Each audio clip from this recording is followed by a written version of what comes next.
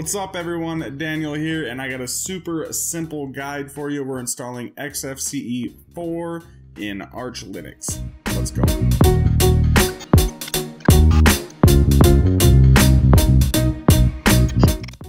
So we only actually have a few packages to install. It's going to be really easy. The only thing you need is to already have Arch installed. I'll be picking up right where I left off in my guide there. I'll link that down in the description also.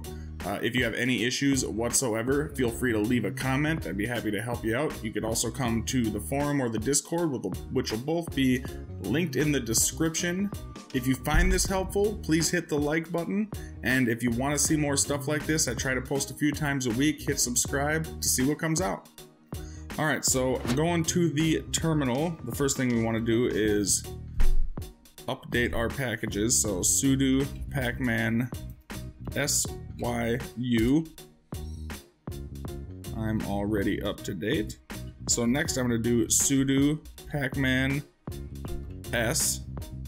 I need xorg. I need xfce4.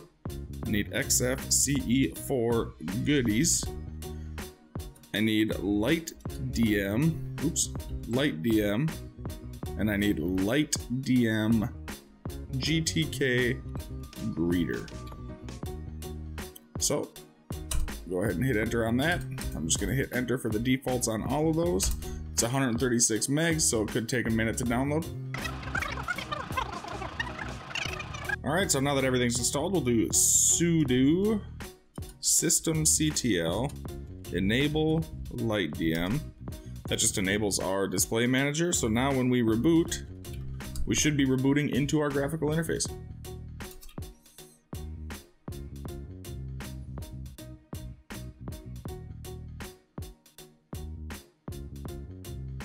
All right, so we're at the login, so I'm just gonna go ahead and log in. And there you have it. We've got XFCE4 installed on Arch Linux. Again, if you have any issues, hit me up in the comments. Be happy to help you out. Hit subscribe if you want to see more like this. Hit like if you like this video. Until next time, peace.